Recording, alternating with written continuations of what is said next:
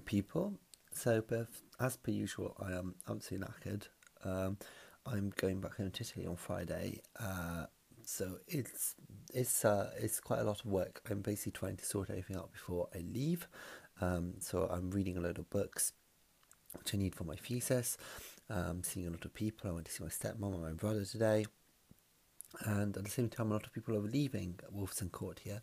Um, so there's a lot of goodbyes happening at the time. So over the next couple of weeks, I'm going to be exceptionally busy. Uh, I'm also trying to catch up on uh, work.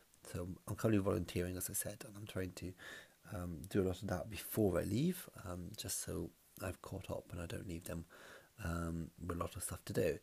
Um, so yeah, so it's going to be nice to see my mom, and uh, yeah, I, at the moment, like uh, I'm just like panicking because I need to get everything done. I'm going to be away for three weeks, which is quite a bit. Therefore, if I were to like um, not be able to have all the information I need for my thesis, for example, I um, wouldn't be able to write it, which would then cause problems. So it all has to be sorted before I leave, um, which is a bit of a shame. But yeah, tomorrow I'm getting up early to do some working, and I'm going to go to see my grandmother in the evening. So that should be nice at least. Um, but yeah, I hope you had a good day, and I will see you all tomorrow.